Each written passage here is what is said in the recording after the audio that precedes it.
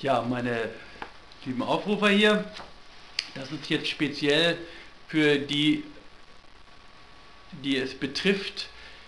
Heute ist Mittwoch, der 9. Januar. Ich habe heute die Nachricht bekommen, dass gestern am 8. Januar 2013 mein Freund und der Komponist Thomas Schmidt-Kowalski in Oldenburg gestorben ist. Er ist 63 Jahre alt geworden, 21. Juni 1949 geboren und gestern nach langer schwerer Krankheit gestorben und ich möchte hier einige Anmerkungen machen zu Thomas Schmidt-Kowalskis Tod. Thomas Schmidt-Kowalski gehört zu dem Freundeskreis junger Künstler, mit denen ich zusammen in den 70er Jahren in Hannover Musik, Aufführungen, Uraufführungen, Konzerte veranstaltet habe und wir haben wirklich wunderbare Zeiten miteinander verbracht. Kunst unter Künstlern, unter jungen Künstlern, wie es besser überhaupt gar nicht gehen kann, auf intensivste Art. Ich für meinen Teil als Maler konnte dabei wirklich, soweit es überhaupt denkbar ist, Erfahrungen und Erkundungen in Bezug auf Musik im Allgemeinen und aber Musik natürlich dieser Musiker, im Speziellen dann auch der Komponisten und hier auch speziell Thomas Schmidt äh, erhalten. Wir haben uns sehr, sehr gut gekannt. Ich habe damals seine Mutter noch gekannt, die auch zu uns, zu den Veranstaltungen nach Hannover gekommen äh, war und so weiter. Als dann seine Mutter gestorben ist, hat er ihren Namen angenommen. Zu seinem Vatersnamen Thomas Schmidt hieß er seitdem Thomas Schmidt-Kowalski, also der Komponist Thomas Schmidt-Kowalski ist gestern 63-jährig nach langer Krankheit in Oldenburg gestorben. Und ich möchte jetzt einige Beiträge geben aus der Zeitschrift Neue Sinnlichkeit mit Thomas Schmidt zum Beispiel, der hier auch abgebildet ist, äh, von dem faksimiliert Noten abgebildet sind. Und äh, wenn ich das sagen darf, ich habe auch äh, ihn porträtiert. Hier ist eine Skizze eines Frontalporträts Thomas Schmidt-Kowalski, das ist etwa im Jahre 1999, also vor 14 Jahren gemacht. Thomas Schmidt ist gestorben und als allererstes möchte ich aber gerne etwas Musik vorspielen und für diejenigen, die nun Thomas Schmidt im Zusammenhang mit der Musik als Komponisten, als Musiker, als Dirigenten, als ja, wie soll man sagen, auch Mediator von jungen Musikern vor allen Dingen, auch als Lehrer kennengelernt haben, habe ich hier jetzt eine sensationelle Aufnahme, die ist von 1978 und zwar von einem Geniestück, das ist H-Moll Klavierquartett. Das war in Friseute, wenn ich mich nicht irre, in so einem alten Fachwerkhaus ähm, die Aufführung und gespielt wurde das von den damaligen Freunden von Thomas Michael Gees am Klavier dann ähm, Carsten Dening spielte Cello, Susanne Herrmann spielte Violine und äh, dann war noch die na, Bratsche, Christine Kaulbach-Bratsche, die dann mit James Lars gespielt hat und ähm, Klavierquartett H-Moll Thomas Schmidt. Ich habe hier eine Live-Aufnahme davon, eine schlechte Aufnahme, aber ich bitte doch die äh, Musiker bzw. Impresarios oder Verleger, die dafür in Betracht kommen, das muss unbedingt eingespielt werden. Es ist wirklich der Hammer. Und wenn Thomas Schmidt-Kowalski bis heute nicht selbst äh, es geschafft hat, weltberühmt zu sein mit seiner Musik, dann ist es hiermit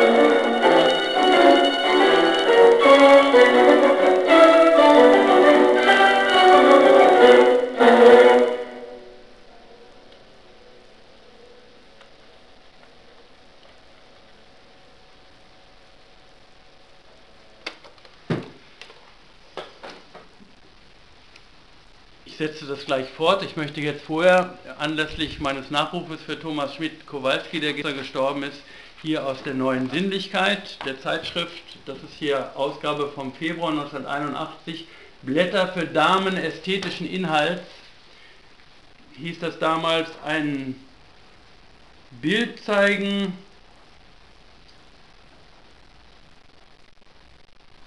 und dann habe ich hier einen Text.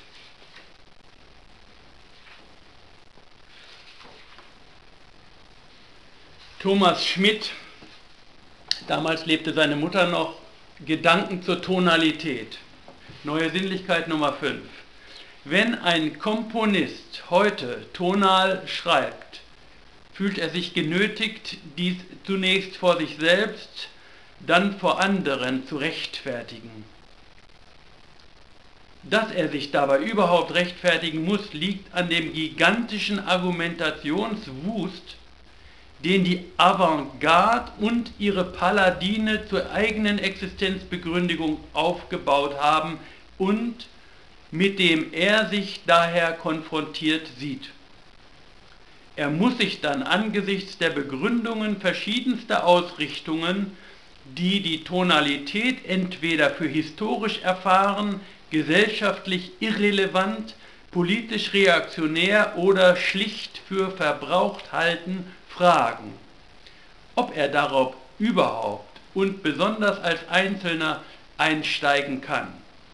Schließt er sich jedoch von der Diskussion darüber nach dem schwersten Kampf, nämlich dem mit sich selbst, aus, weil er sich sagt, seine Werke müssen aus sich selbst herauswirken, so wird ihm dies Schweigen als Dummheit angekreidet, was in unserem intellektualistischen Zeitalter als die blamabelste aller Schwächen gilt. Wenn er aber über etwas Einsicht verfügt, so ist ihm klar, dass er mit noch so schlau überlegter Rede keinen Menschen von seinen Werken überzeugen kann. Da alles, was man sagt, angreifbar ist, und Meinungsänderungen mehr von der Autorität eines Menschen ausgehen als von dem, was er sagt. Autorität aber ist das letztlich nicht fassliche der Ausstrahlung eines Menschen, die einem das sichere Gefühl gibt, der hat recht. Daher muss also die Diskussion über die Tonalität das Austauschen von Standpunkten bleiben, die sich alle weitgehend begründen lassen. Wenn sich jedoch etwas so wandelt wie heute das Verhältnis zur Tonalität, dann muss dies in Dingen gesucht werden, die von Rhetorik unbeeinflussbar sind. Da ist zum einen die von dem modernen materialistischen Rationalismus unterdrückte Seelen- und Gefühlswelt des heutigen Menschen, der sich in dieser Hinsicht gerade von der gegenwärtigen Kunst alleine gelassen sieht. Dies führt bei vielen Menschen zu der Haltung, dass offenbar eine ihn ansprechende Kunst heute aus welchen Gründen auch immer nicht mehr geschaffen werden kann, wodurch man sich ausschließlich der Kunst der Vergangenheit zuwendet, um dann von der Avantgarde, die diese Haltung bewirkt hat, mit dem Vorwurf reaktionärer Kunstgewohnheiten gegeißelt zu werden. Zum anderen beginnt der Mensch zunehmend sich wieder als Teil der Natur zu begreifen und nicht mehr als Denkmaschine, die ihre Umwelt durch Verstand und Technik letztendlich beliebig disponibel zu machen hofft.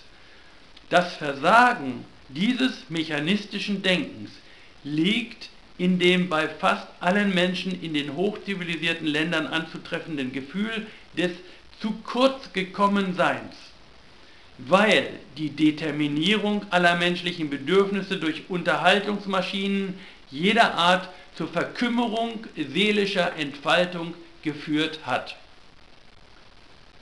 Sich als Natur zu begreifen heißt aber auch, sich in den Ablauf der Natur integriert zu fühlen und sich nicht mehr durch Technik ihm entgegenzustemmen.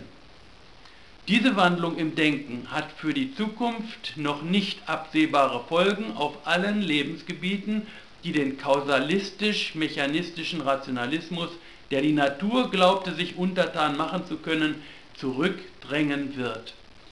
Die Künstler haben an solchen Zeitwenden stets den Wandel eingeläutet, und in der Kunst visionär vorweggenommen, was sich dann geschichtlich erfüllt hat. Man denke zuletzt an den Expressionismus, an das Aufgeben der Tonalität in der Musik oder an das Aufgeben der Perspektive und Gegenständlichkeit in der Malerei um 1910, die man als die apokalyptischen Vorreiter des Unterganges der alten Wertvorstellungen in den Feuerstürmen zweier folgender Weltkriege sehen kann. Wenn sich der Mensch heute seiner Natur erinnert, dann bedeutet das für den tonalen Komponisten jedoch nicht nur, dass er tonal komponiert, weil die Avantgarde erschöpft ist und daher Tonalität mal wieder dran ist, sondern dass er die Tonalität als eingeborenen Archetypus betrachtet, den der Rationalismus zwar unterdrücken, dessen Urgewalt er aber nicht beseitigen kann. Es entsteht so die Hoffnung, dass die Künstler in dem Bekenntnis dazu nun am Anfang einer Epoche der Menschwerdung stehen, in der der Mensch seine Wurzeln neu erfährt und fern vom zugeschnürt verklemmten Rationalisten und vom brutal gesunden Faschisten dadurch zu einer neuen Vision vom Menschen kommt, der seine Triebe liebenswert und freundlich äußern kann, weil er sich selbst nicht mehr im Wege steht.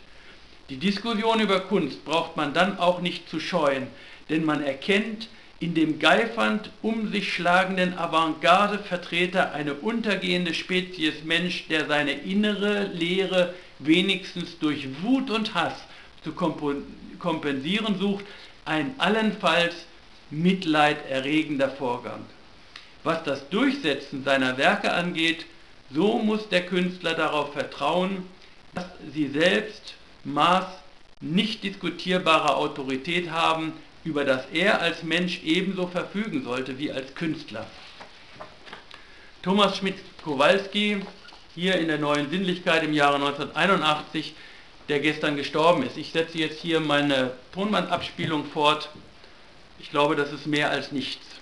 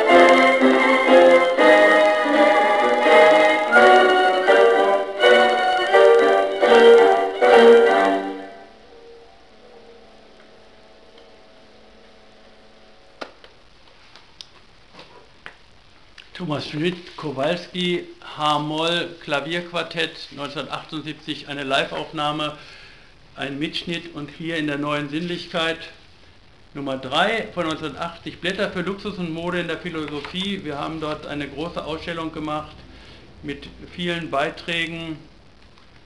Und hier habe ich ein, eine Musik, Sonate für Klavier in C-Moll. So sah die Notenhandschrift von Thomas Schmidt aus, als er jung war. Diese Schrift hat sich noch ausgeschrieben, ist aber vom Charakter her so geblieben. Thomas Schmidt-Kowalski, Komponist in Oldenburg, ist jetzt 63 gestorben. Gestern und ich habe hier aus dem Heft 36, was ich ihm zu seinem 50. Geburtstag gewidmet habe, einen Beitrag von ihm Gedanken zur Tonalität Thomas Schmidt-Kowalski schreibt.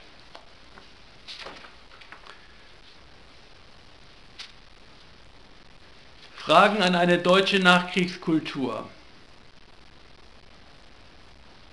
Wer denkt bei Deutsch nicht gleich an deutsche Gründlichkeit, Nazi-Aufmärsche, an den Bauern, der die Scholle stampft, an Heimat, Pflicht und Vaterland? Warum denken wir nicht an Goethe, Beethoven, Hegel und so weiter? Sind die Negativ- und Zerrbilder wichtiger als das andere? Gibt es nach Auschwitz noch eine deutsche Kultur?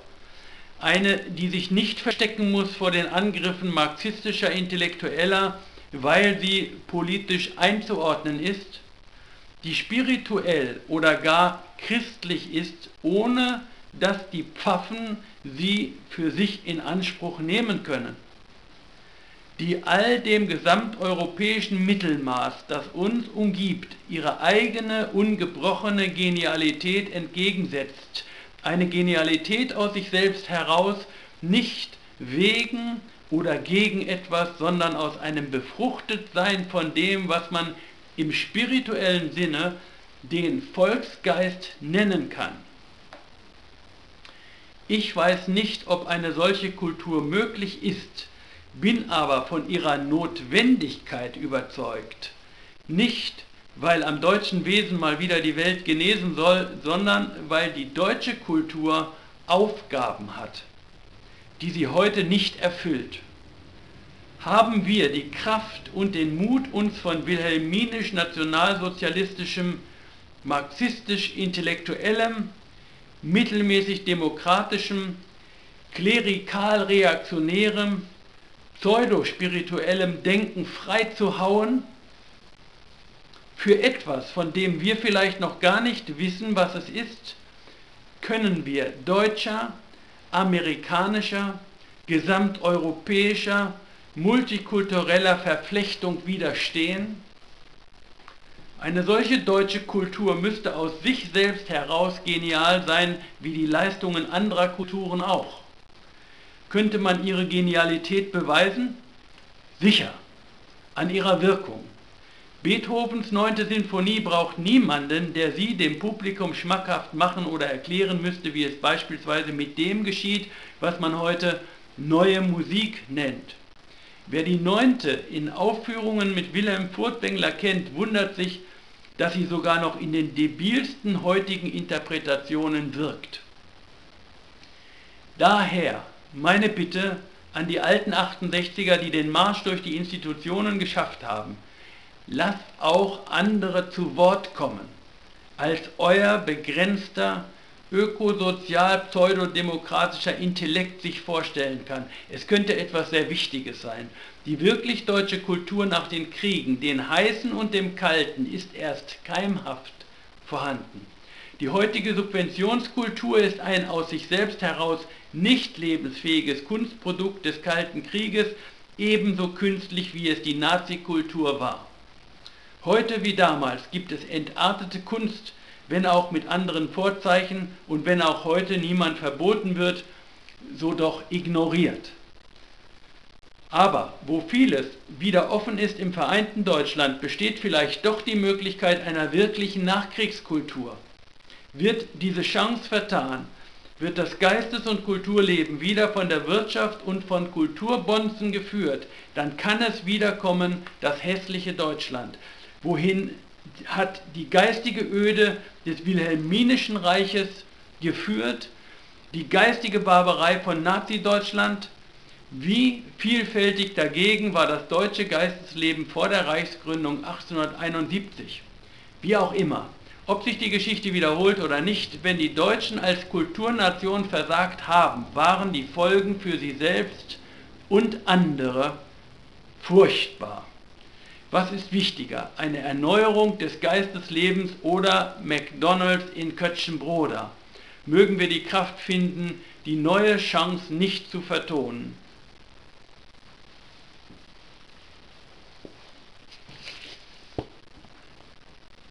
Thomas Schmidt-Kowalski, ich habe hier alle Beiträge, die er damals für die neue Sinnlichkeit verfasst hat, in dem Heft Nummer 36 und äh, möchte hiermit jetzt meinen Nachruf abschließen mit dem äh, Ende von dieser H-Moll Klavierquartettaufführung von 1978, ein Geniestück von Thomas Schmidt-Kowalski aus Oldenburg.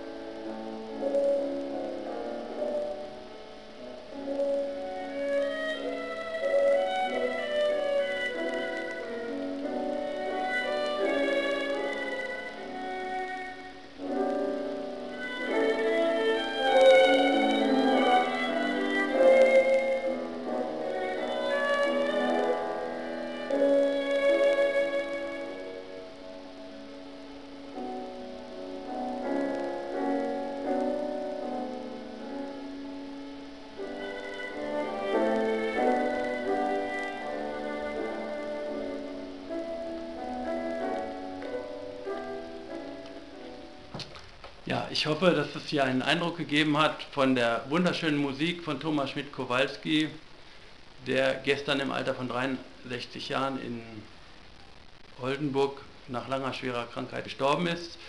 Und das ist für mich eine sehr tiefgehende und auch äußerlich sehr bewegende Nachricht geworden, denn es ist ein wesentlicher Freund meines eigenen Weges und Zeuge. Und insofern werde ich in der neuen Sinnlichkeit auch Thomas Schmidt-Kowalski zukünftig mitnehmen